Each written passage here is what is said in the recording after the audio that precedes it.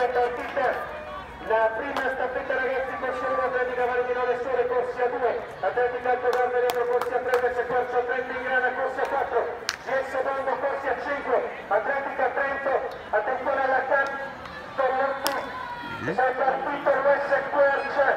Vuole migliorarsi ancora dopo la grande prestazione. Siamo a 200 metri.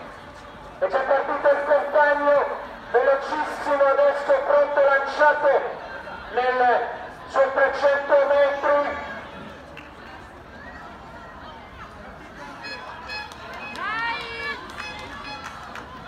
Bravo Davide!